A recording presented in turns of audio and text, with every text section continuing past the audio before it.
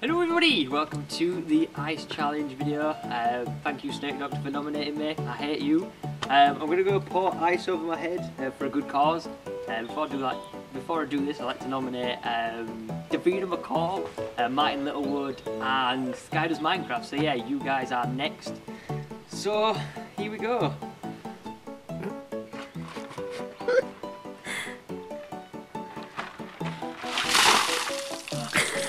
哥。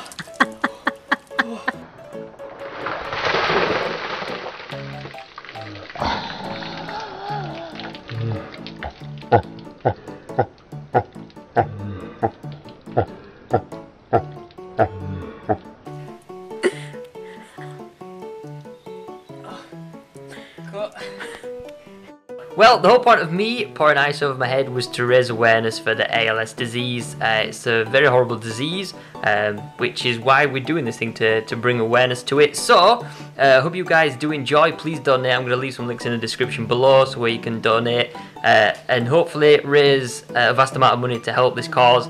Uh, but yeah, my name is Squidward and I will see you later. Bye.